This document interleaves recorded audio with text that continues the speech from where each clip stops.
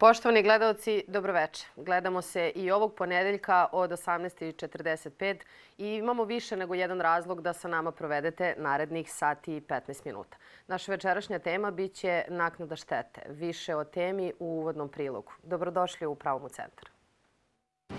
Šteta je umanjenje nečije imovine i sprečavanja njenog povećanja, kao i nanošenje drugome fizičkog ili psihičkog bola ili straha, Štetnik ili dužnik naknade štete lice koje je prouzrokovalo štetu.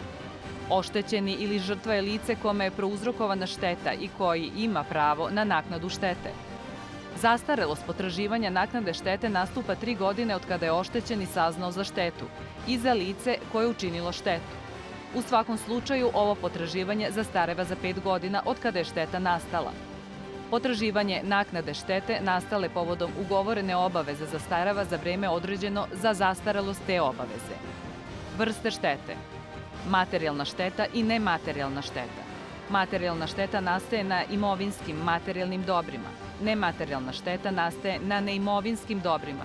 Život, zdravlje, fizički i psihički integritet, čas, sloboda, ugled i tako dalje. Stvarna šteta i izmakla dobit Stvarna šteta predstavlja umanjenje postojeće imovine. Izmakla dobit predstavlja sprečavanje uvećanja imovine. Posredna i neposredna šteta.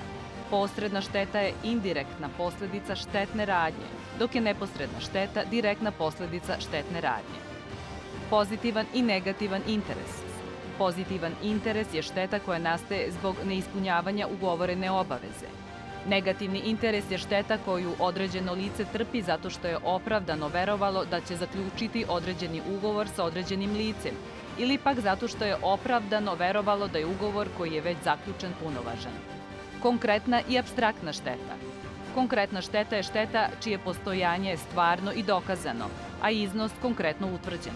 Abstraktna šteta je šteta čije postojanje i iznos ne moraju se dokazivati pošto se njeno postojanje pretpostavlja, a iznos naknadne štete se procenjuje na osnovu opštih i uporednih propisanih kriterijuma. Predvidiva i nepredvidiva šteta. Predvidiva šteta je šteta koja se u vreme zaključivanja ugovora mogla predvideti. Nepredvidiva šteta je šteta koja se u vreme zaključivanja ugovora nije mogla predvideti. Postojeće buduće i eventualne štete. Postojeća šteta je šteta koja je već prouzrokovana i čije su posledice već nastale – Buduća šteta je ona šteta koja će u budućnosti sigurno nastupiti.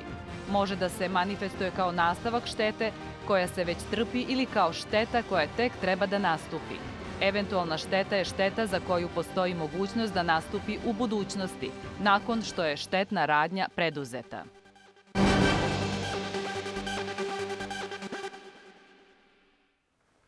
Moji večerašnji gosti su vrhunski eminentni stručnjaci u oblasti kojom se bave. Pogledajte o kome se radi. Advokat Toma Fila je osnivač advokatske kancelarije Fila i stariji partneri. Rođen je 1941. godine u Bitolju.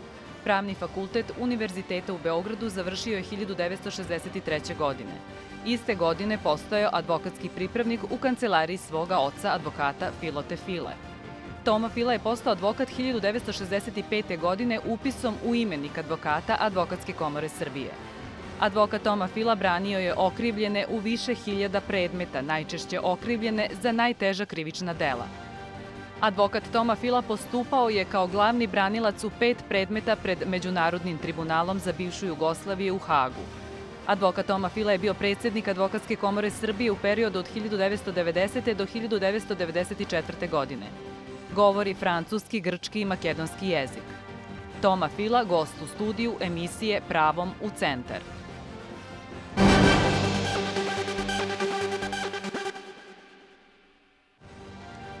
Advokat Aleksandar Stanimirović rođen je 1976. godine u Parizu. Diplomirao je 2001. godine, a u komoru upisan 2010. godine. Ima veliko iskustvo u privredi. Specijalnosti su mu korporativno pravo, porezi i financije. Aleksandar Stanimirović, gost u studiju emisije Pravom u centar.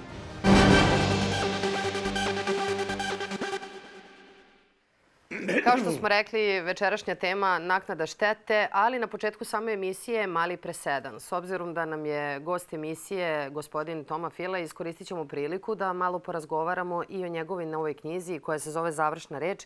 Gospodo, dobroveče, dobro mi došli. U boljem vas našli. Hvala. Dobroveče. Evo, krenut ćemo malo e, drugačijim tempom. Svakako ćemo pričati i o naknadi štete, ali s obzirom da mi je u septembru, evo pre mesec dana, dva, izašla nova knjiga, mislim da zaslužuje da je predstavimo, da nam vi onako ukratko kažete šta ste sve hteli da nam kažete završnom rečju.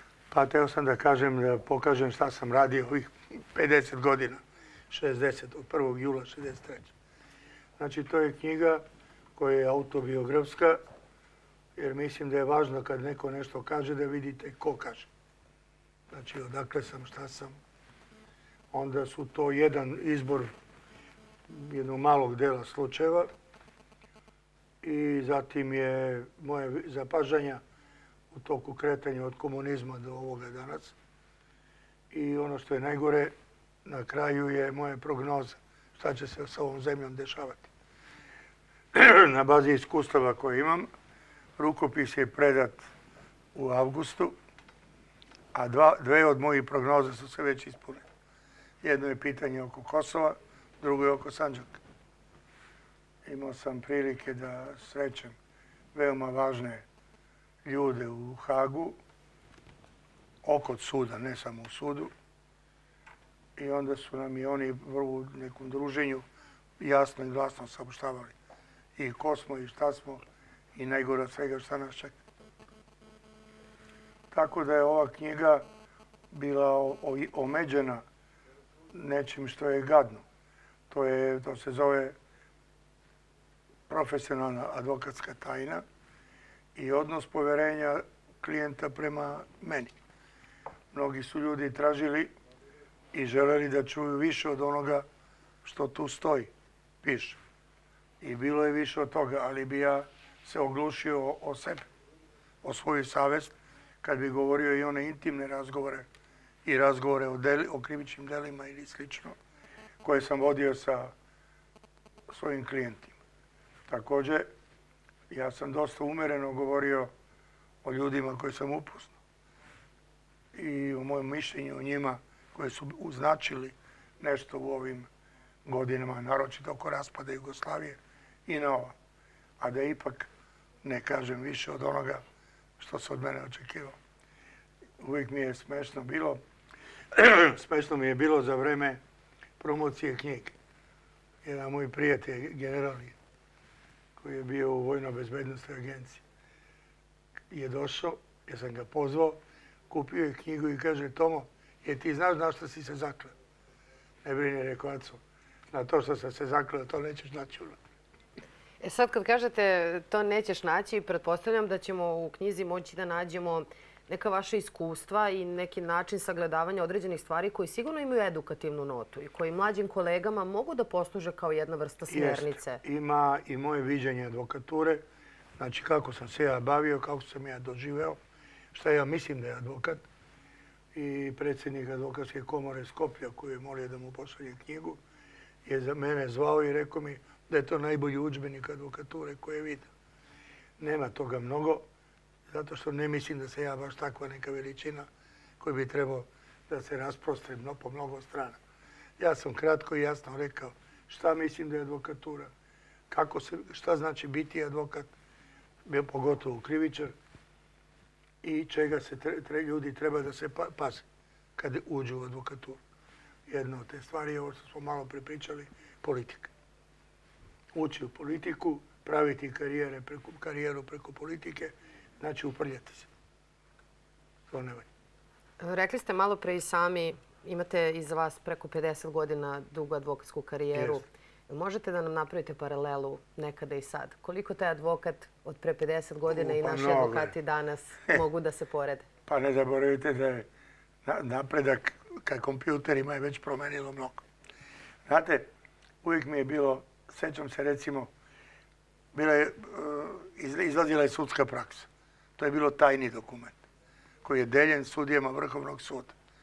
Ja ne znam koje sam sve napore vršio da ukradem, da isfotokopiram to negdje i da vratim. Zato što su tada sudije Vrhovnog suda znali po jedno 5-6 stotina precedenata iza sebe i na to bili ponosni.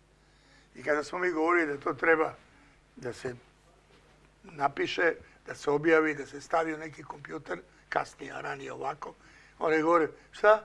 Pa ja ovo što sam radio 30 godina i tamo neki u brzoj palanci klikne u dugme i zna sve što ja znam. Sublimišem svih mojih Da, 30 30 godina godina, ovako. iskustva, a neko dobije Eto, to je recimo. Danas advokatura, evo ovo zašto je kolega specijalista, to pre 50 godina bi pitali da li on to nekom svahiliju govori. Kako korporativno pravo. Šta je to? Mi smo imali, početak je bio, znate, civil krivice. Krivice su u odnosu na, kao što znate, pravo. To je jedna nozrva na čoveku, to je krivično pravo. Sve ostalo je drugo. E, ali je ovo je atraktivno. Znate, kad vi vodite neki međudržavni spor i dobijete ga, to znate vi i, i država. Kad neko ubije šest ljudi, vi ga branite, svi, To znaju svi. To znaju svi. To je pitanje slave, znate, ali ne i vrednosti. Interesantno da to kažete vi. Pa zato što je tako. Znate što, lepo bi bilo da nije tako, ali je tako. Naša večerašnja tema je prilično široka. Čini mi se i mnogo šira od krivi, krivici i krivične odgovornosti. Naknada štete je nešto što može da se pojavi u svakom trenutku u svačijem životu. Ne mora a priori da se desi krivično delo, ne mora da se desi ništa sličnog tipa. Ali kada govorimo o krivičnim delima, s obzirom da je to vaša specijalnost, ljudima koji se ne bave pravima, nekada je naknada štete nespojiva sa krivičnim Da delima. vam kažem ovako. Ajde da pogledamo unazad. Kad sam ja počeo da se bavim pravom uopšte, naknada štete nije postojala. To je bilo protivno socijalističkom moralu. To su tako govorili. Šta to znači ubije neko pa sad hoćeš pari? Ne, ne, to ne. Dugo godine je trebalo da sazri svest u ljudima da postoji materijalna šteta pod A, nematerijalna još više vremena treba du- pretrpljeni strah, bol, naročito oko zatvora. Znate, treba imati u vidu da 1959. godine je donet prvi, prvo e, krivični zakon, pa i ZKP kasno. Ljudi nisu razumeli da neko kad izađe iz zatvora neosnovano da je držan, da treba da mu se nešto plati. Držali su prvo bio pritvor traju koliko hoćeš. Pa su ga onda smanjili na 9 meseci, pa na 6. I sada plaćaju, nešto plaćaju, ali plaćaju. Znači, osnov je postignut. Visina je drugo pitanje. Da, i mislim da je pitanje iznosa potpuno sekundarna stvar. Da, da, Koliko je važno je da važno osnov to, to ljudsko zadovoljenje, da vam je na neki način priznato da ste određenu bol ili patnju pretrpeli u tom smislu. vremena. To je trebalo mnogo da se prelomi u, u, u tom socijalističkom načinu razmišljanja. I to je još uvijek prisutno. Znate, pogledajte vi statusni položaj, tako da nazovem, optuženog, on je glavna ličnost. Sve, sve se vrti oko toga da se on zaštiti. Ako ga ne prebiju u mupu i da mu se jedino ruši ljudska prava, da li maltretiranjem, da li iznudom, da li ovim da ga drže ceo dan bez hrane, bez vode, to se sve dešava u mupu. To se, bi se sve rešilo sa jednom malom kamerom od 50 evra. Da to hoće, da nijedan iskaz ne može da se uzme ako ga ne slikaju. Ta kamera košta 50 evra. I više ne bismo imali priču o povredama i tako dalje. Ali od momenta kad sudija i tužilac preuzme, nikad nije bilo primetbe. Znači, vrlo je prosta priča. Tu je problem. Samo u MUP.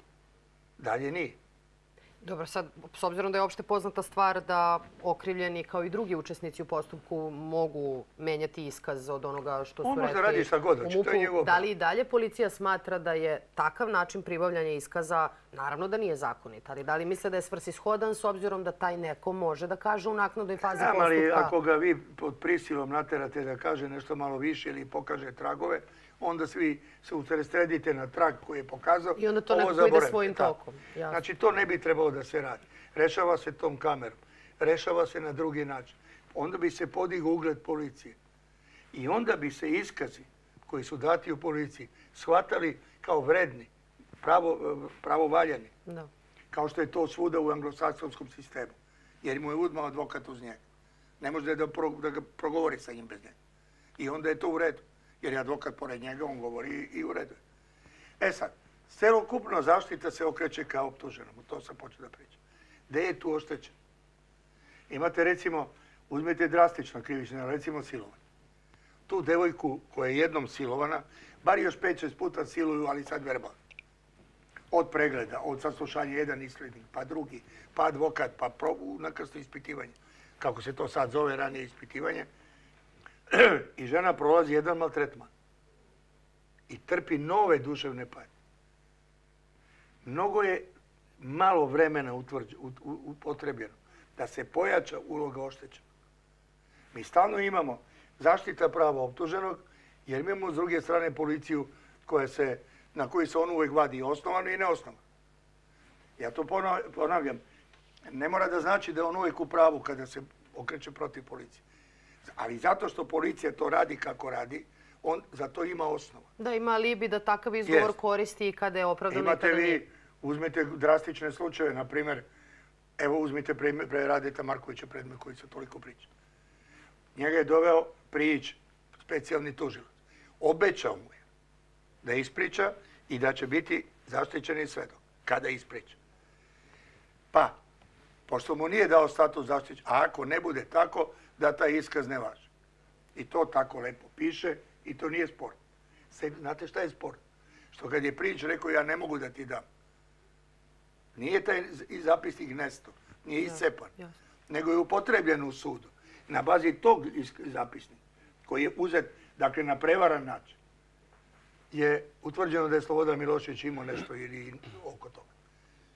Zašto vam to govorim? Zato što to mora da se eliminiš. I to je onda, bi cela priča oko optuženih bila čista. Potpuno čista. E onda bi se valjda neko setio da se obrati malo i oštećeni. Koji treba da imaju para, da imaju advokata, koje najčešće se presudi i kaže se oštećeni su upućuje za ostvarivanje imovinskog zahteva na parnicu. Znači na nove troškove. Na zapadu, koliko sam gledao, glavno je ono što će da platiš. I ono je O.J. Simpson. Jeste on oslobođen, ali izašao kao siromah, ojadili su ga, šta je sve plati. To je suština. I kada bi mi raščistili jedan put pitanje tog procesno pravnog položaja okrivljenih, kasnije optuženih, onda bi bilo sve jasno. I vajda bi se setio zakonodavac da malo pogleda i na onu drugu stranu. Evo recimo, ja ne volim Natašu Kandić i njen način rada, ali moram da je odam priznanje. Njenom upornošću i prisustvom stalnim u specijalnom sudu, specijalnom tužiloštu, gdje je zastupala oštećen i upornošću njenom je došlo do neke pravde. Da to bilo napušteno, ne verujem da bi ti procesi bili u redu. Jer ja kažem, ja ne volim način na koji ona radi, ali ovo što radi kod oštećenih je upravo. Da, apsolutno podržavati i poštojete. Poštojem, naravno. E, gospodina Stanimirovića e, ću svakako da pitam vezano za štetu, ali već imamo prvo gledalca na vezi. Dobroveče, dobro mi došli. Dobroveče.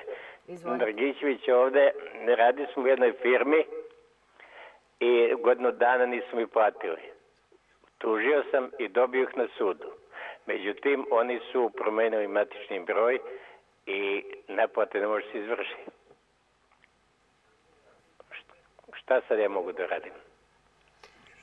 Hvala vam puno na pozivu. Gospodine Stanimiroviću, nismo ni stigli da krenemo uvodni deo, a već imamo pitanje za vas. Odlično. Da, u ovom slučaju, ako gospodin kaže da su promenili matični broj, pošto koliko ja znam nije moguće promeniti matični broj, nego ugasiti prirodno društvo, posnovati novo, u tom smislu je verovatno prvo preduzeće ostavljeno kao takvo da odgovara za sve obaveze, a osnivač je osnovao novo preduzeće. Ima li leka ovakvim situacijama? Potpuno sam, potpuno sam saglasan sa vama.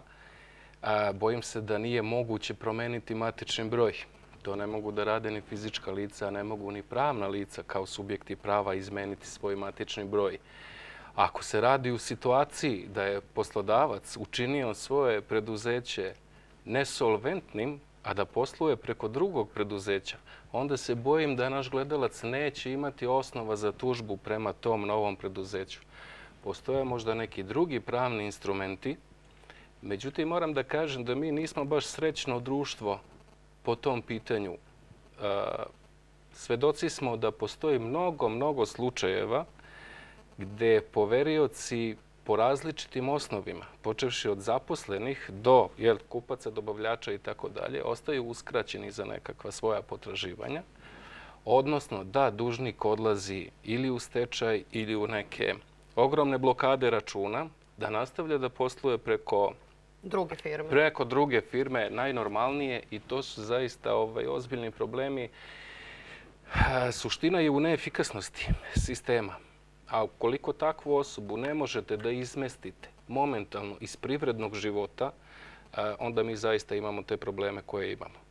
A, nažalost, sistem jako sporo funkcioniše, čak i situacije koje su stoprocentno čiste, gde, gde moji klijenti idu na izvršenje na osnovu potpisanih faktura dužnika često to odlazi u parnicu, pa se te parnice raz, ra, razlače u, ovaj, u nedogled. Za to vreme dužnik sklanja, raspolaže imovinom, a vi onda pokrećete krivične postupke. A poverilac u tom slučaju čini mi se trpi samo dodatne troškove, jer ove parnice o kojima pričate sigurno mm, imaju određene troškove za poverioca. Apsolutno. On snosi te troškove u nadi da će u jednom trenutku naplatiti i svoje osnovne potraživanje, a i sve troškove koje je imao do tada a onda kada nam firma postane potpuno insolventna na bilo koji način, poverilac je u još goroj situaciji. I sad se postavlja jedno krucijalno pitanje. Šta mi savjetujemo poveriocima? Da ulaze u ovakve sporove ili ne? Razumete šta mi je sada To može zavisiti od mnogo faktora. Može zavisiti od visine potraživanja. To je apsolutno srazmerno kasnije i visini troškova. Tako? Sudske takse i ostali troškovi zavise od visine potraživanja poverioci su dosta opterećeni ovaj, tim troškovima koji u startu padaju na njihov teret i sudskih taksi također ovaj, plaćaju i svoje punomoćnike i veštačenja koja u startu ovaj, padaju na njihov teret. Dakle, to su jako velika opterećenja. Umeđu vremenu se može desiti da nikada ne naplate to svoje potraživanje. Također, e, dobre strane su, su e, neke što se tiče e, privatnih izvršitelja u smislu efikasnosti i tako dalje. Međutim, opet imate jednu situaciju da privatni izvršitelji postupaju tek kada platite taksu, odnosno naknadu tom privatnom izvršitelju, što negde jeste u redu, ali zaboravljamo početnu poziciju ovoga koji ima neko potraživanje. Dakle, u vrlo nezavidnom položaju je što se tiče tih troškova i to je ono sa čime se susrećemo svaki dan. Mislim da je neefikasnost glavni problem. Jasno. Sporost u rešavanju tih slučajeva. Bila je jedna anegdota kad sam ja počeo. Jedan advokat iz Zemuna, inače smešan tip njivar, je govorio klijenti. Vidi, kaže, bato, ovako to izgleda. Sporo se zove zato što sporo ide. Zato što sporo ide. A parnica je te košta par. I tako je reći. Evo vidite, sve ima nekog svog razloga. Imamo sljedeće gledalce na vezi. Dobroveče, dobro mi došli. Dobroveče. Izvolite, ja bih molio gospodina Filu samo da objasnim gledalcima e, u, kakvom su, u kakvoj su situaciji građani Srbije koji ne mogu privatno da gone e, zločinca iz organa uprave kada tužilac kaže odbacujem ti krivičnu prijavu član 51 kriz zakona o krivičnom postupku. Znači, tužilac Mi, na primjer, imamo te slučajeve, kontrast je u pitanju Novi Sad, e, procesuiranje inspektora, mi oštećeni, odnosno roditelji, nisu uopšte stranke u postupku, tužioci nas hajdučijom ovaj, e, i zloupotrebom prava e, ovaj, ugrožavaju naše dostojanstvo i sudski postupak. Ja vas molim, sve sam preduzeo, znači disciplinski. Čas sam i krivično gonio tužioce, znači krivičnu prijavu vi date tužiocu, on je opet dolazi njima u ruke i oni sami o sebi odlučuju. Znači jedna opšta hajdučija. Ja vas molim, evo, objasnite gledalcima, ja se borim za, evo, sve građane Srbije i preko Ustavnog suda, koja je posljednja instanca, i disciplinski i krivično gonim to. I ja vas molim, evo, kao renomirani advokat, da ovaj samo potvrdite ili da kažete u čemu je problem eh, ovog eh, hajdučije u tužilaštvu. Hvala vam. Hvala vam puno na pozivu. Ja mislim da ste razumeli pa, u čemu se ogleda problem.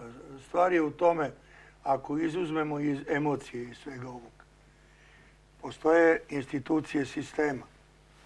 Među njima je i tužilaštvo. Znate. Osnovna stvar je da se stvori poverenje u tužilaštvo. Kao što je, treba da postoji poverenje u sud, a nema ga, tako nema ni u tužilaštvu. Kao što sam malo pregovorio o policiji vi nemate mogućnosti drugačije od one koje ste preduzeli.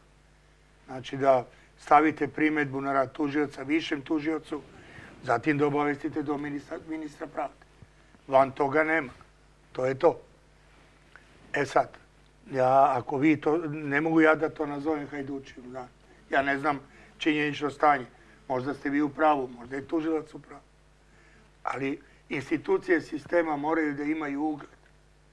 To i jeste suština reforme pravosuđa i to jeste problem kod ulazka u Evropu i kod otvaranja tih poglavlja, jer najviše što nam zameraju jeste pravosuđa. Pored medija koji me u ovom momentu ne zanimaju, ali osnovna stvar je pravosuđe. Mi imamo jedan veliki korak što se fizički konačno reguliše sedišta sudova, tužilaštva, ovo sada sudije za prekrše. To je veliki korak. I ja pozdravljam napore Selakovića. Ali ono što je urađeno u prethodnom režimu, oko razbijanja onih sudova i izbacivanja sudije pa vraćanje nazad, milionske štete koje je u društvu istrpalo. I najgore od svega je, novac je nešto što se nadokrati. Ugled koji je srozan. ugleda. Da. da. Kako će se iz toga izvući, ne znam. Ali da je to tužiloštvo sa ugledom koji bi trebalo da ima i sud da ima ugled koji treba da ima. I jednog dana će ga, nadam se, kad mene ne bude bilo, biti, tada više takav, takav razgovor se neće voditi. To vam je moj odgovor. Mora da se stvori ugled institucije sistema. Ne da se prebacuju, prepucavaju kroz novine, ne da hapse mediji, ne da odgovaraju mediji. Juče gledam sad ovu raspravu, svi sevaju i sipaju krivična dela koje postoje i ne postoje i tako dalje, a nigde ne vidim da se oglašava neko ko iz, iz organa, opet iz institucija sistema da kaže mi ćemo preduzeti, to postoji to delo ili ono delo i tako dalje. Mora ugled.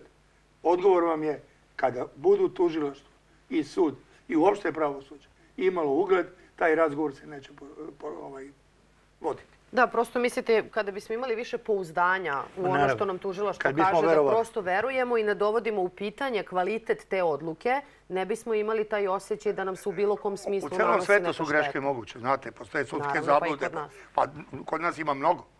Da je to u nekom procentu 1-2%. Kao što kaže borba protiv kriminala. Nikad se kriminal neće eliminisati. Da li kad se svede na neku razumnu meru, onda je to potpuno nešto drugo. To je onda to jedna priča. Ako postoji razumna pa, mera. Pa postoji razumna mera. Znate, postoji prema broju stanovnika, pa prosek, prosek danas te statistike i taj tehnološki napredak vam daje mogućnost da pratite u celom svetu situaciju. Kretanja. Ne da se upoređujete sa Zimbabveom ili, ne znam, nije sa Ruandom, nego sa zemljama Evrope. Pa onda vidite koja je stopa kriminaliteta kod vas.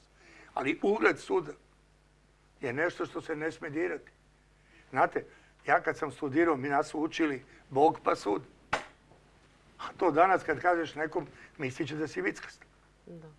Ja bih samo želeo da dodam, ovaj, možda da sublimiramo ovu, ovu eh, priču uvaženog eh, kolege. Ne može postojati ugled suda bez nezavisnosti. Sudije, makar u nekoj određenoj meri, Mi smo sada u zaista... Meri. U bitnoj ili u određenoj meri, ali smo zaista sada svedoci da, da stvari u pravosuđu zaista ne stoje dobro. Ne stoje kako treba. I daleko smo otišli, daleko smo odmakli od ugleda i bojim se da će se to jako, jako teško vratiti. Morat će da protekne zaista puno vode Dunavom i Savom, dok pre svega običan građanin u anketi izjavi da veruje sudu. Evo vam uzmite najbolji primjer od 2000. godine, ajde da uzmemo to Pavle Milošević, koja je od tih silnih afera koje smo učitali i ponovili, završeno osuđujućom presudom? Nijedna. Zašto? Zato što ih hapsite kroz medije. Ispričate neku užasnu priču. Onda dođe pred sud. I ne možete da potkrepite Ne možete, a sudija opet se plaši da presreće da kaže ovo nema veze, nema ništa. Te ne znam ovi pritičeš oni. Ili uzmite kretanje pritvora. Da se zapazili kako se promeni režim. Tako se masovno izukidaju pritvori. Tako da vi naj, najgore je onome koga uhapse na početku promene režima. U nekom mimohodu. Ne, ne, neko prvo, da, na početku, pa mora da, da čeka četiri godine ili tri. Jasno, jasno. A najbolje ovima koji su zadnjih dva meseca ili tri. Tako. Jer kako se promeni sistem, tako postaju prvo se ukidaju pritvori, dolaze one nanogice, pa i to nestane. Onda je nestane i pred. To je suštini, zato nema ugleda. Vi vidite čoveka koji se šeta gradom, A vi pročitali za njega da je ne znam šta da je. Jasno. Eto to je. Znači ugled, ovo što kolega kaže. Da, to je suštinski Ali on problem. kolega je Ovo bar dočekat će možda. Da. Ja sigurno neću. Imamo sljedećeg gledalca na vezi. Dobroveče. Alo, dobro večer. Izvolite, slušamo Evo vas. sam Dragan Sremca da postavim pitanje gospodinu Filu koji najviše cenim. Ovaj, žena je držala apoteku, znači porodična firma. A do 2008. Znači imala neki kredit od Eurobanke koji je vratila. Vratila znači. A, a, a ono sve vratila, međutim Eurobanka blokira račun. Ujedno, znači, nema ni dobavljači plaćaju ništa i onda ucenjivala za dalje. I normalno žena napiše ukoliko ovaj račun od blokita ne mogu regularno radi, ima rok mesec dana i znači žena morala da zatvori apoteku. One su normalno, a, oni se nisu objavljali, i Dinkić upisan u to vreme pismo i svima, šta ona žena obična, šta može da radi i ćuti. Međutim, oni puste meni kao mužu koji sam im potpisao to vreme, a, menicu, znači da će platiti što i platila, i oni puste sada meni na platu. I ja ih tužim posle, pošto oni uh, meni tri godine prošle i tužim, i na osnovom sudu i dobijem, poništim i tu presudu. I sad to na višem sudu. Ali zato mi kao porodica patimo, odbijemo se od plate, ne mogu da preživimo. A firma porodična ne radi. Da li ste razumeli pitanje? Evo, mlađe kolega će bolje da odgovori, to je više u njegove oblasti. Hvala vam puno na uključenju. Ovdje mi je nekako suština u tome da kada, očigledno da se radi, ako je ovako kako je gospodin naveo, je tako, očigledno da se radi o omašci, da je kredit isplaćen u celosti, možda ima nekih za, zaostalih dugovanja po osnovu nekih kamata po danu ili nešto Ne što u tom da trenutku nije. I da ih ima i da ih nema. Ako, u ovom slučaju, ako je ovako kako gospodin navodi, ako je šteta nastala, onda u tom slučaju možemo i da je naplatimo. ali Tako, kako to Ja se bojim da smo mi već odgovorili na ovo pitanje, a, a jednostavno problem je u neefikasnosti sistema, u neefikasnosti pravosuđa. Ukoliko je situacija nesporno, nesporna da je taj e, dug banci vraćen, da je posle toga nastupila blokada, da se aktivirala e, menica, Menica solidarnog, solidarnog jemca, je li tako? Onda bi to moglo, to bi moralo da bude, da kažem, promptno rešeno u najkraćem mogućem roku. Ne bi smelo da prođe više od nekoliko dana, ali evo sad čujemo da se tu ušlo čujemo- u neke parnične postupke. Znate š- kako? Onda dolazi do veštačenja, pa onda se neko razboli, ne dođe veštak, ne dođe Promeni sudija, ne sudija. dođe... Tako je, I promeni se smo u dve sudija. godine. I ovaj, to su veliki problemi. E, možda bih mogao da zaključim da je suština ovog pitanja da li imam pravo na naknadu neke nematerijalne ili možda čak i materijalne štete zbog ovakvog postupanja kada se u nekim sudskim postupcima parničnim ili čak možda krivičnim, ja mislim da bi ovdje imalo elemenata i za e, Krivičnu neko odgovornost. krivičnu, krivičnu odgovornost banke koliko su pustili menice, a bilo im je e, bio, bila su im vraćena sredstva, bio je otplaćen dug. Tu apsolutno postoji, postoje elementi za krivičnu odgovornost. E, nisam baš optimista da bi u ovoj situaciji nisam preterani optimista da bi u toj situaciji kada se svi postupci završe U korist pozitivno u korist našeg gledaoca, da li bi mogao eventualno da potražuje neku naknadu nematerijalne štete, mislim da su standardi našeg društva daleko ispod tog nivoa. Nažalost, to da jeste tako. Smatrat će se da je kroz kamatu koju će dobiti da je da je A nije tako da se maltretirao jer je imao Tako je. stresove i oko toga žive od jedne plate i tako. Ako ovdje Znači on je govorimo... potpuno u pravu, ali Ako ovdje govorimo o vraćenom dugu, a banka kreće u prinudnu naplatu na osnovu menice, da li govorimo i o neosnovnom bogaćenju od strane banke? više ne? govorimo o nesavjesnom poslovanju. To je pre tu, ne, tu negdje tražiti. Posto ne vjerujem da je to neko namerno uradio, nego neko, baš ga briga, vidio neku menicu i ajde. To je više liči na to. Jer on bi prvo, taj službenik bi morao da izleti s posla. Ali to ne mogu mi da mu nametnemo koji zastupamo tog čoveka, nego ta banka bi trebala tog čoveka zašto si to uradio i da mu da otkaz. Kad bi se to pročulo, ali kod nas, znate, Da, to bi već su imalo greške. preventivno Jest. dejstva za buduće slučajeve da službenici malo više vode računa o tome. Od Titovog vremena učimo se na greškama, to je Tako je. divot. Ga- pouke. Izvlačimo pouke iz toga. Pa će ovaj kad pogreši 30-40 puta, prestati više da greši jer je došlo vreme za penziju. Pa će neki drugi da greši. Prirodni odliv. Tako. Tako. Imamo sljedeće gledalce na vezi. Dobro večer. Halo? Halo? Ništa, imamo problem, tehnički problem sa vezama. Probajte da, pokušajte da nas dobijete malo kasnije ponovo. E sad da iskoristimo dok nemamo gledalca na vezi, pošto će nas gospodin Fila napustiti za pet minuta, onda ćemo da pitamo gospodina Filu. E, malo pre dok smo govorili o krivičnim delima i krivičnoj odgovornosti, a onda u jednom trenutku i o naplati i naknadi neke štete koje se u tom slučaju trpi, zvučalo je malo komplikovano. U kom trenutku oštećeni ili okrivljeni aktiviraju takvu vrstu zahteva? Koji je to moment u tom Ovako, postupku? kad se radi o klasičnim krivičnim delima, to počinje od, pravo, od presude. Međutim, kod nas sud u principu izbegava da se uput, upušta u to.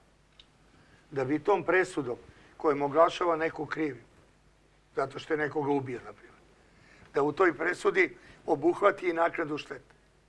Da izvede određene dokaze, recimo putem veštaka za pretrpljeni bol porodice, što im je ubijen otac, sin, brat, sestra, nije važno, neko to. I da tada, istovremeno sa presudom, donosi presudu u naknadu štete, naknadi štete. Kod nas se to ne dešava. Nego se prosto upute I onda se uputi. I sad parnicu. čekaš da se pravosnažnost, dešava se prvo, prvo krivični postupak, traje, sad čuvaj Bože. Mi smo imali jedno vreme jednu odluku da krivični postupci moraju da se ograniče na dve godine. Onda je brže bolje u vreme Koštunice to promenjeno i jednom drugi put i digli su ruke. Jedan od zagovornika toga da se vremenski ograniči trajanje krivičnog postupka sam bio ja, kao i pitanje pritvora. Ako u roku od dve godine ti ne presudiš, ovo ide kući, pa tamo gde ubije iljedu ljudi. Na taj način ćeš shvatiti da mora da presudiš. Da, i da mora da se rešava u A nekim ne da optimalnim držiš rokovima. nekoga Pet, šest godina u pritvoru, onda se utvari da nije kriv, platiš mu nešto odavde, čovjek izađe ludi iz zatvora. Yes. Jer kogod nije bio u zatvoru, taj ne zna šta je to. Da. Jedan dan, Jedan a kamoli dan, pet godina. pet, šest godina. Ko što imamo. Dakle, šta sam teo da kažem? Moralo bi da se nateraju sudije. Jer sada se sve to govori, ja to bi usporilo postupak. Pa ne bi usporilo. Jer to je jedno veštačenje, znate. Eventualno psihologa ili bilo kog drugog, zavisi da je mat- materijalna i nematerijalna šteta. Ili jedna i druga. I onda i jedna, u- pa kad završi jedno, da je završio i drugo. I da onda je pri, pristupi naplati te štete, a ne ide sad u novu priču. Oštećeni su upućeni na parnicu i tako dalje. A samo da vas pitam, da li u tom slučaju, mi smo na početku u uvodnom prilogu slušali nešto što se zovu rokovi za zastarelost, subjektivni i objektivni. U, u tom smislu može da se desi da nastupi ne, zastarelost ne, za ne, ne, štete? Jer vi utvrđujete osnov pravni za naknadu Mhm. štete. Ta presuda, osuđujuća presuda je osnov za štetu. I od tog momenta tog momenta počinje da teče rok. E, to nam je važno jer ste A rekli da bilo bi bilo važno da tad i ne počne da teče, nego da ga već imate završeno. Da, to bi bilo To je zato vam bolje. kažem. Stalno je uloga oštećenih mnogo podcenjena kod nas. Ja koliko god sam branilac, nikad nisam zastupao oštećene u život. Evo za 60 godina. Ali sam uvijek gledao i smatrao da su ti ljudi podcenjeni. Jedan tuž, tužilac šta god hoće radi. Ovaj ne može ništa.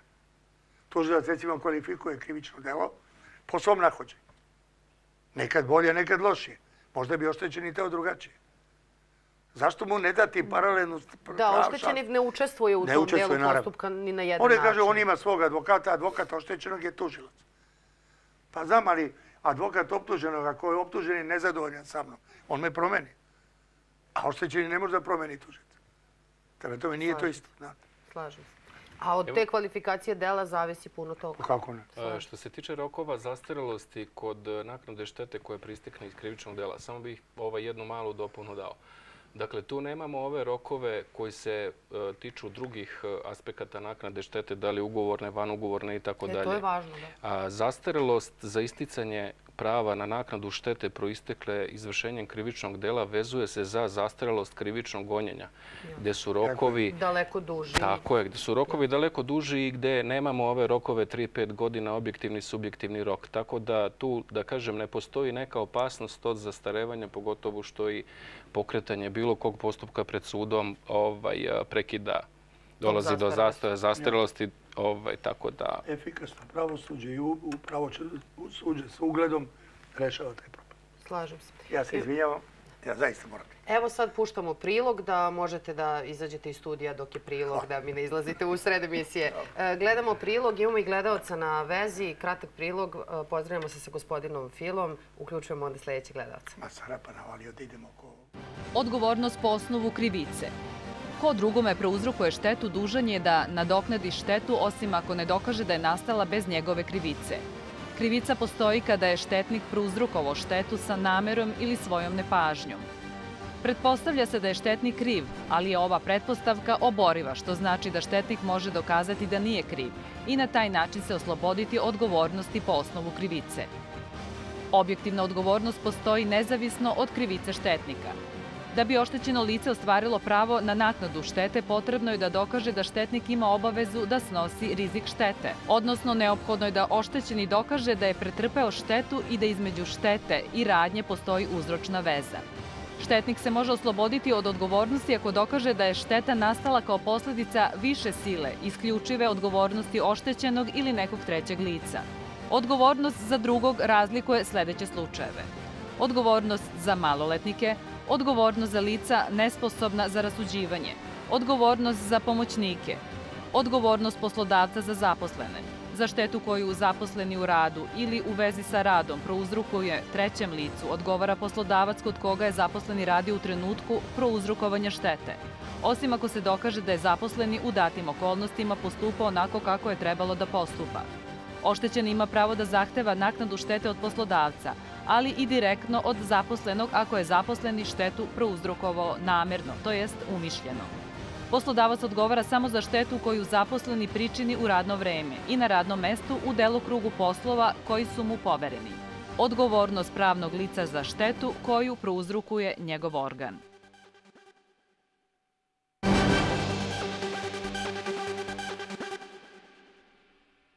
Naknada materijalne štete obuhvata naturalnu restituciju i novčanu naknadu. Naturalna restitucija je oblik naknade materijalne štete kojim se uspostavlja stanje koje je prethodilo šteti, to jest oštećeno dobro se dovodi u stanje u kome se nalazilo pre nego što je nastala šteta. Novčada naknada je takav oblik naknade materijalne štete kojim se oštećenom licu isplaćuje određeni novčani iznos. Novčana naknada se može odrediti kao jednokratna isplata ili u vidu novčane rente u slučaju smrti, telesne povrede ili oštećenja zdravlja, za određeni vremenski period ili doživotno.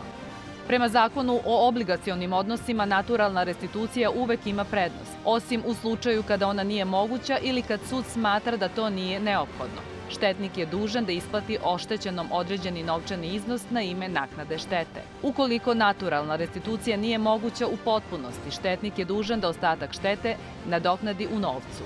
Naknada nematerijalne štete vrši se u obliku novčane naknade. Novčana naknada se dosuđuje u jednokratnom novčanom iznosu ili u vidu novčane rente. Prilikom odlučivanja o osnovanosti zahteva i o visini naknadne nematerijalne štete, sud posebno vodi računa o značaju povređenog dobra i cilju kome naknada služi.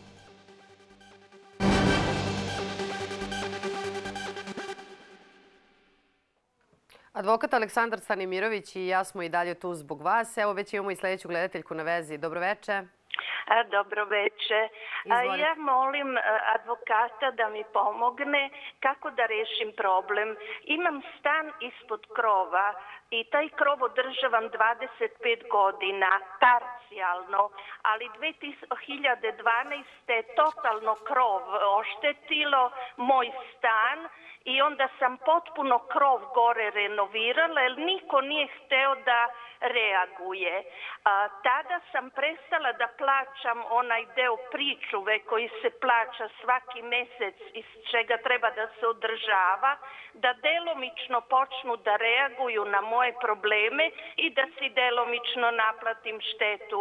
Ali oni su tada, predstavnik zgrade i ovaj, e, institucija koja skuplja pare, digli tužbu protiv mene da ja mora da platim retrogradno oko 2000 2500 eura pričuve, a ne žele da znaju da sam ja krov i sve to 20 godina održavala, da nikom nije ispod mene do tri stana kap vode pao, a moj stan do danas od 2012. ne mogu da popravim zato što stalno traže da dolaze procijenitelji. Stan je osiguran u Alijansu i bio je procenitelj Alijansa, ali je sutkinja poslednji puta e, rekla da ne zna da li će da prizna procenitelja od Alijansa i rekla je da uplatim nešto manje od 1000 eura otprilike za procenitelja suda. I ja sad ne znam kako iz svega toga isplivati. Imala sam advokata, jako dobrog i poštenog čoveka, ali niti iz predstavništva, niko na njegove e-mailove nije reagovao. Ja sam onda prestala da koristim advokata i sama sam izlazila na sporove i da uhvatim za glavu i za rep situaciju. I sada vidim da sam na strani gubitnika, da ću morat sve da platim. I popravak stana i e, krov kad god prokisne, svi se prave gluvo nemi, ne interesuje ih a pre nego što sam ušla u investiciju, svi su me savjetovali ostavi da procuri dole pa će onda drugi da se pomere. Ali ja sam odgojena da cenim komšije i ja sam frontalno stala da popravim krov i ušla u celu tu gungulu i sad mi je stan kršilom. Mislim, strašno sam razočarana. Tela bi iz toga cirkusa da izađem. Šta mi cenjeni advokat kažeš, kako iz te ludnice, kako da kažem, iz toga užasa, kako da iziđem, da prodam stan, da pobegnem, da platim, da odem u drugo mesto, šta da radim? Hvala vam puno na pitanju. Mislim da će odgovor početi sa neefikasnošću koja u ovom slučaju pravi gospođi problem, jer čini mi se da se parnica okončala brže da bi gospođa već izašla na ovaj ili onaj način. Da li postoji neki način da se ubrza e, cijela situacija? Pa ja bih rekao da mi ovde nemamo samo pravne probleme. Imamo i probleme drugačije prirode s obzirom da, da naša gledateljka već zaista ne zna šta da radi ni sa tim stanom, da li da se odatle seli ili ne. Ja zaista ne mogu, nažalost, da joj pomognem, pogotovo imajući u vidu da je, kako gledateljka kaže, imala dobrog i savesnog advokata u tim postupcima, da je na kraju odlučila da te postupke vodi sama. Ne znamo sad ovde o kakvim postupcima se radi, da li su oni okončani, nisu okončani, jedno veštačenje, drugo veštačenje, već smo govorili o tim troškovima i tako dalje. Načelno vezano za ovu priču jasno je da je krov pretpostavljam da se radi o nekoj stambenoj zgradi, da je ovaj krov zajednički deo zgrade koji su dužni da održavaju svi stanari. Nažalost, to kod nas funkcioniše po sistemu kako funkcioniše, to nikoga ne interesuje. Obično oni ljudi koji žive u potkrovlju muku muče sa, jel tako, vremenskim nepogodama, sa prokišnjavanjem e, i tako dalje. Pitanje naknade štete, pitanje e, podele tih troškova, to je svakako pitanje koje se mora rešavati u nekom sudskom postupku, u jednom parničnom postupku, da se veštači šta treba da se veštači, ali vidimo da je to sve već u nekom pravcu i otišlo i, i ovaj, zaista ne znamo ni kako se završilo, tako da ne bih zaista mogao da posavetujem gledateljku da prodaje stan ili u, u, u takvom stanju ili da u istom ostane.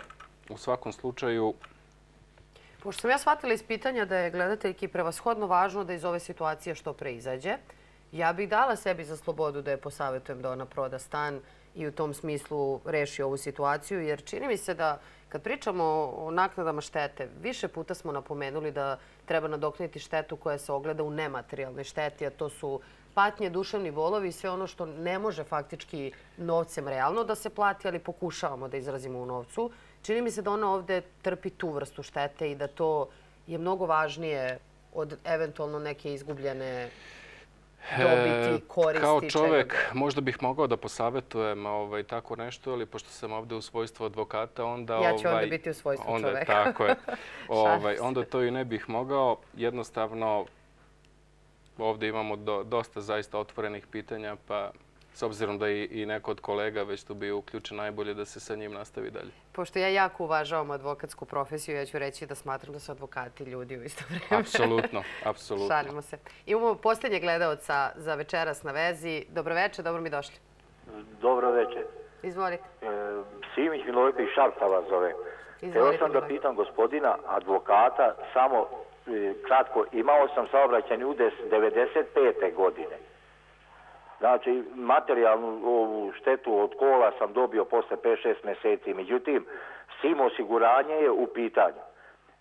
Predmet se vuka, vuka u Beogradu u Palati pravde 10 godina dok nije otišlo sim osiguranje po stečaj 2006. godine. Sad mi je predmet u garantnom fondu, advokat je tužio garantni fond obnovljen predmet u stečajnoj masi. To lice koje me izazvalo udes, ono je četvrti dan izumro, čovjek i sad kako su otišli ovi svim osiguranje 2006. godine u stečaj, e, za sve ove vreme, e, znači niko iz garantnog fonda niti se pojavio na ročištima, niti dolazi, niti ko šta, gde god dođem, koga god pitam, znači ne mogu da uradim ništa, ja sam invalid, e, imam invalidsku penziju, bio sam prijavljen kao autoprevoznik, imao sam firmu, radnju, do udesa, četiri godine bolovanju. Na bolovanju sam bio 99. godine sam u, u invalidskoj penziji i ne mogu da naplatim ništa od te materijalne oštete, niti mogu da završim, niti znam više ni kud, ni šta, dvoje djece imam na fakultetu, jedno, jedno se bavi sportom, živimo od 18.000 dinara invalidske penzije, kome bi ja mogao da se obratim, šta bi mogao više da uradim, da, da evo 21. godina znači ne mogu ništa da, da ostvarim. Hvala vam puno na uključenju.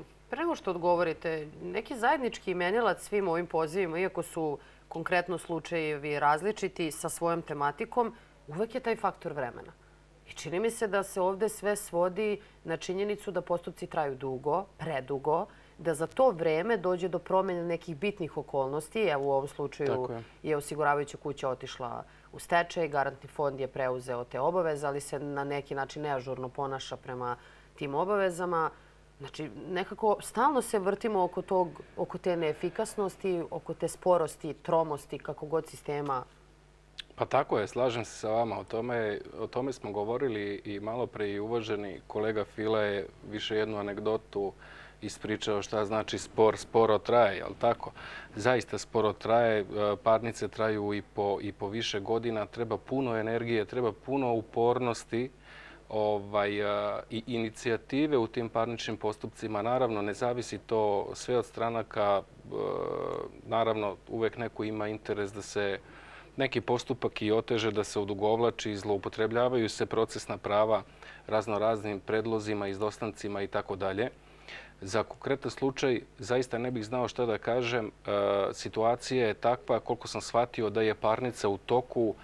E, od toga pobeći ne može ni naš gledalac. Njegova je obaveza ukoliko želi u tom sporu da uspe, da u tom sporu ostane i da e, nastoji da, da tu parnic, taj parnični postupak privede kraju u svoju korist i eventualno da se naplati. Jednostavno, svaki odustanak mislim da je osnov, mislim da je osnov ovde nesporan. E, problem je u efikasnosti. Ukoliko se bude odustalo od parnice, naravno, ovaj, e, troškovi koji zasigurno nisu mali pogodit će naše gledalca, u konkretnom slučaju tužioca. Da, u ovom slučaju, znači, savjet je da gospodin, bez obzira na okolnosti u kojima se našao sada, nažalost, ne može da odustane. Ne da ne može, nije svrsishodno s obzirom na troškove, koji su se tokom ovih 20 i kusur godina prilično nagomilali. Tako je. I u tom smislu bi ga sigurno više pogodili nego izdržavanje do kraja ishoda cijele ove priče. Ali sada na taj način otvaramo jednu Pandorinu kutiju. Prvo, treba da donesemo odluku da li uopšte želimo da uđemo u jedno, jedan sudski spor kada sve čujemo ovo što čujemo. Onda kada već odlučimo da na neki način rizikujemo i pokušamo da rešenje nađemo ovim putem, onda moramo da budemo dovoljno finansijski, emocionalno i energetski snažni da sačekamo ishod takvog jednog postupka koji, kako čujemo, može da traje dve decenije. Tako je. Nažalost, teške su okolnosti ovaj, u kojima e, se dostiže do pravde u našoj državi. Međutim, ne bih e, sada da previše mračimo naše gledalce. E, nije, nije zaista e, sve tako crno. Tačno je da neki sudovi rade brže, da neki rade sporije, da neke parnice traju duže, neke se i okončavaju u nekom razumnom vremenskom okviru. Dakle, postoji mnogo, mnogo činilaca koji mogu uticati na to koji će se tempom odvijati tok neke parnice i kada će ona biti završena. Nekada su zaista činjenična građa je složena, pogotovo kada imamo u pitanju naknadu, naknadu štete, gde zaista sud ne može sam donositi odluku po pravilu gotovo nikada, jer je neophodno veštačenjima veštaka različitih struka utvrditi Određene visinu, činjenice, tako visine. utvrditi a, visinu nastupile štete. Da li se tu sad radi o privredi, da li se radi o materijalnoj šteti, da li se radi o nematerijalnoj šteti. A, postoji zaista bezbroj činilaca i faktora koji mogu uticati na to da parnični postupak zaista bude složen, da bude kompleksan i da nije lako u nekom kratkom vremenskom periodu takav postupak okončati. Dakle, postoje brojni opravdani faktori koji na to utiču. Naravno, postoje i oni koji e, nisu opravdani i gde, gde smo kao građani zaista uskraćeni za neki brži, brži pristup pravdi, da kažem. Slažem se. Da se vratimo na našu temu. Počeli smo o naknadi štete, stalno pominjamo materijalna, nematerijalna. Ajte sada da se pozabavimo obimom materijalne štete. Šta tu ostalog znači? Kako se ta materijalna šteta, da li se deli na neke podštete ili neke podvrste kategorije? Kako to izgleda? Pa ajde, možemo da kažemo i tako da, da ovaj, možemo podeliti u neke, neke kategorije. E, vaše najave koje su išle pre i tokom emisije su ovaj, dale dosta informacija gledalcima koje se tiču pojma štete. Dakle, šteta predstavlja umanjenje nečije imovine, a, takođe šteta predstavlja i sprečavanja uvećanja nečije imovine. Takva jedna šteta se zove izgubljena dobit. Ono što je e, smisa odredbi zakona o obligacionim odnosima kad je u pitanju naknada materijalne štete jeste da se imovinsko stanje oštećenog dovede u fazu kakvo je bilo, da nije bilo štetnog događaja. Mhm. Dakle, niko ko E, razmišlja o podizanju tužbe za naknadu štete, ne bi trebalo da računa sa tim da će dodatno zaraditi, odnosno da će se uslovno rečeno obogatiti u tom parničnom postupku. Nego da će se žargonski rečeno iznivelisati. da će doći u stanje u kakvo bi bio da do štetnog događaja nije došlo. Tako je. Do toga se dolazi, do iznosa e, štete se pretrpljene štete, odnosno naknade za pretrpljenu štetu se dolazi e, putem veštačenja, gde se, kako ste vi to lepo rekli, sve to izniveliše. Pa bez obzira, mogla je šteta nekada nastane pre pet godina, to su bile nekakve finansijske okolnosti. Posle pet godina to može biti potpuno potpuno druga situacija, ali će veštak opredeliti visinu štete na, na dan veštačenja, dakle u vremenskom periodu kada se donosi odluka sudska o, o naknadi štete. E sad, ono što smo čuli i u prilogu, a pominjali smo i tokom emisije, je oštećenik. Oštećenik je lice koje je direktno pretrpelo štetu. Da li u tom smislu je taj krug lice ili to lice, ako već govorimo u jednini jedno jedino, ili postoji neka lica koja na indirektan način takođe trpe štetu? Kako to zakon prepoznaje? Naravno. Pre svega imamo situaciju uh, postojanja materijalne i nematerijalne štete. Materijalna šteta je nešto što smo, uh, o čemu smo više govorili, dakle da se imovinska imovinsko stanje nekoga koje je štetu pretrpeo dovede u, u, u fazu kao da štetnog događaja nije ni bilo. E, neimovinska šteta, to, to podrazumeva dakle fizički bol, duševni bol i tako dalje. Ono što je jako bitno kod nematerijalne štete i kod dosuđenja novčanih iznosa za na ime nematerijalne štete jeste da zapravo dosuđivanjem novčanog iznosa ne može se dovesti kao kod materijalne štete imovinska situacija u, neko prethodno stanje. Tako je. Niti je smisao uopšte naknade nematerijalne štete taj da se, da se oštećenik obešteti, već je zapravo smisao da se e, omogući nekakva ugodnost, nekakva satisfakcija za povređeno nematerijalno dobro. Slažemo se da niko ne može izmeriti nečiji bol duševni, da niko ne može izmeriti nečiji fizički bol. To su kategorije koje su apsolutno nemerljive i svako od nas osjeća na nekakav poseban način, a pogotovo takav jedan e, oblik štete nije moguće novčano valorizovati. To ne bi bilo niti moralno, niti prihvatljivo sa bilo kog aspekta. Dakle, dosuda novčane naknade štete zbog pretrpljene nematerijalne štete, dosuda novčanih iznosa nije, nema za svrhu obeštećenje, već omogućavanje da se e, određeno lice da priušti neke, ne, nekakve prijatnosti, da li recimo ako su to nekakve povrede i tako dalje, da može da se osjeća ugodno da iskoristi ta neka, neka sredstva, da može sebi da pribavi neku prijatnost, možda i nekim putovanjem, zašto da ne. Da. I to ima smisla. Čini mi se da govorimo o nekoj, uslovno rečeno, kompenzaciji Tako je. za ono što se desilo. E sad, kad e, govorimo o materijalnoj šteti, šta su to neke najčešće situacije u praksi? Koje su to vrste materijalnih šteta? Pa evo ovako, teško je reći koje su, koje su najčešće vrste nematerijalnih šteta. Materijalnih. E, mate, e, materijalnih šteta. Teško, teško je reći koje su to vrste iz prostog razloga zato što su izvori nastanka štete praktično neograničeni.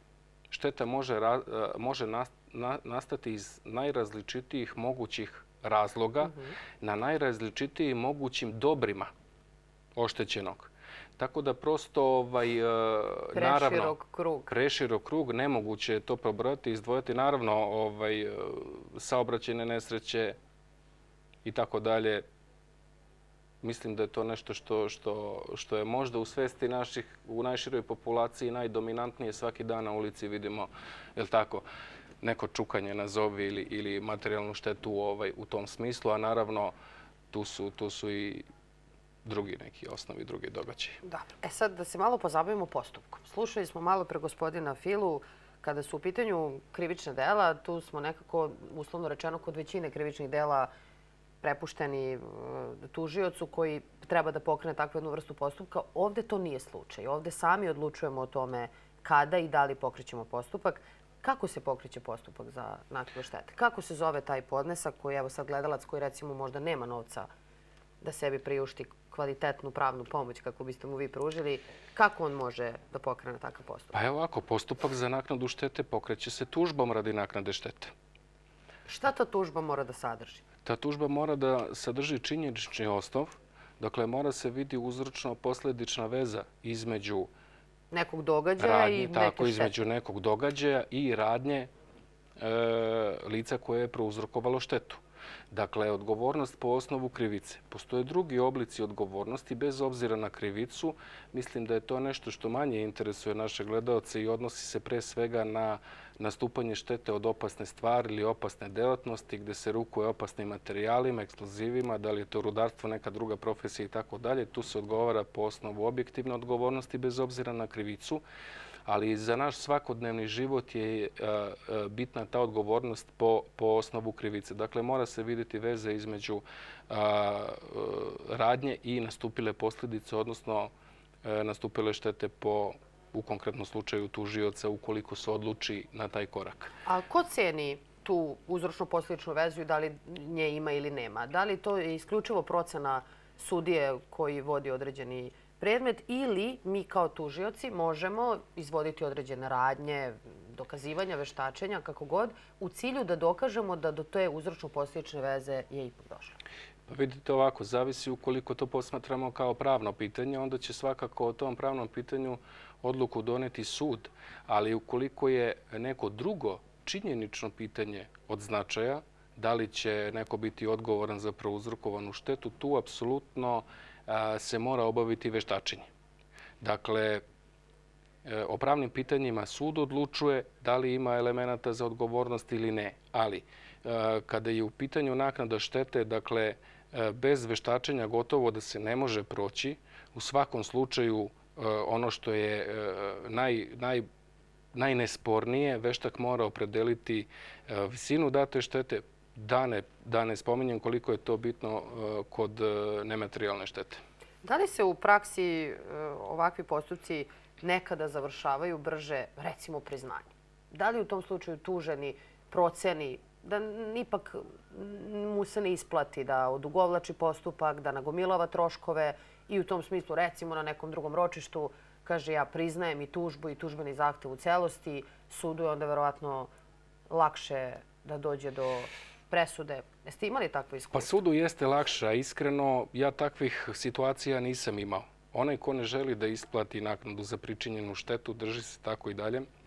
Večera smo govorili, tako je, večera smo govorili ovaj, iz tog aspekta proteka vremena, nekih kasnije izmenjenih e, okolnosti i tako dalje. Uglavnom, ukoliko se ta e, iznos na ime, na ime ovaj, pričinjene štete isplaćuje, onda nema ni razloga za pokretanje parničnih postupaka. Dakle, to bi vrlo su kao- retke te situacije da će vam neko na prvom ili na drugom ročištu priznati da je pričinio tu štetu i Mislim da je bilo obavezati voljnog se da momenta plati. do parnice ne bi ni došlo. On bi verovatno se dogovorio neposredno pre toga. Apsolutno. Naravno, i pre pokretanja parničnog postupka advokati mogu pružiti značajnu pomoć u smislu, ajde da kažemo, neke medijacije između potencijalnih parničnih stranaka.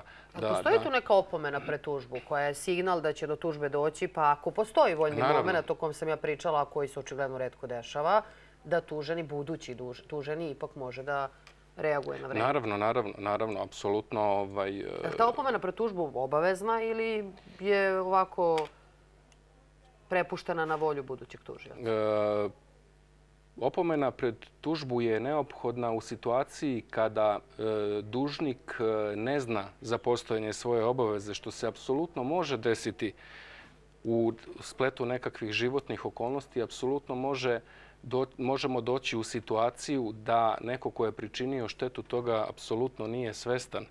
E, najrazličitiji e, su mogući primjeri i od, od saobraćaja do, do drugih oblika šteta, ali u svakom slučaju e, opomena pred tužbu je neophodan korak u smislu otvaranja pregovora o naknadi te štete. Ja bih tako započeo. Da. I svakako ima smisla. Ono što smo večeras takođe samo pomenuli, a nekako nismo uopšte objasnili, je nešto što se zove prekomerno oštećenje. U tom slučaju mi ne govorimo o klasičnoj naknadi štete Da. usled nekog štetnog događaja, nego o čemu u tom slučaju govorimo? Prekomerno oštećenje e, jeste e, jedan pravni institut gde e, jedna ugovorna strana koja ne mora biti previše vična određenim životnim okolnostima, ne mora imati previše saznanja o nekom redu veličina i e, ne mora imati saznanja o vrednosti nekih dobara, pa recimo ta dobra prometuje po znatno nižoj ceni od tržišne vrednosti, u tom slučaju govorimo o prekomernom oštećenju. Dakle, bez obzira što je zaključen određeni ugovor, što je e, stranka praktično iskazala svoju volju potpisivanjem tvog, tog e, ugovora, može se pozivati na prekomerno oštećenje ukoliko ono drastično odstupa od nekih tržišnih e, ovaj, e, vrednosti dobra koje se prometuje. A to se da kažemo da damo takođe taj utvrđuje u primjer. nekom postupku. Nije to sada automatski. Neko Tako je. tvrdi da je prekomerno Naravno. oštećen, da je nešto prodao za daleko nižu cenu i sad po automatizmu raskidamo takav ugovor. Ne, naprotiv, Ne dokazujemo može se to rask... takav ugovor se može raskinuti saglasnošću ugovornih strana. Tako je, saglasnošću ugovornih e, strana. Dakle, tu govorimo o sporazumnom raskidu. Međutim, opet malo je verovatno da će neko ko je Da će do takvog sporazuma Tako je, da će neko ko je pribavio neku stvar po znatno nižoj ceni i dobrovoljno prihvatiti raskid e, takvog ugovora, ali ono što je bitno kod instituta prekomernog oštećenja, to je da e, isticanje prekomernog oštećenja zastareva u roku od godinu dana od zaključenja tog pravnog posla. Dakle, istekom roka od godinu dana više se ne možete pozivati na prekomerno oštećenje. Da, odlično. E, Došli smo do samog kraja, e, što zbog kolege File, što zbog vas. Meni se bar čini da je vreme brzo prošlo. E, U ovoj posljednjoj fazi smo zatvorili naše linije prosto da bismo uspeli da nešto gledalcima o temi kažemo. Ovako za kraj, ili imate neku kratku poruku, nešto što biste volili da poručite našim gledalcima? Rekli smo malo pre, nećemo da deprimiramo, da vičemo Naravno. da je sve Naravno. sporo, da nije isplativo ući u sudski postupak. Šta da im kažemo za kraj? Za kraj e, možemo da poručimo gledalcima da zaista se rukovode, e, ajde da kažem, nekim pravičnim rešenjima. Ukoliko ste pretrpeli štetu, nemojte se libiti da uz odgovarajuću stručnu pomoć pokrenete određene parnične postupke i ostvarite pravo na tu satisfakciju ili pravo na, na, na to obeštećenje. Naravno, nemojte biti i neoprezni i odmah se u startu izlagati velikim troškovima ukoliko nema osnova za podizanje takve tužbe. Gospodine Stanimiroviću, advokatu, naš dragi, hvala vam puno što ste večeras bili moj gost. Hvala vama, bilo mi je zadovoljstvo. Bila je ovo još jedna emisija Pravom u centar. Nadam se da ste uživali, a nadam se da ste i naučili nešto korisno. Vidimo se već sledećeg ponedeljka u 18.45 u isto vreme na istom mestu. Prijetno.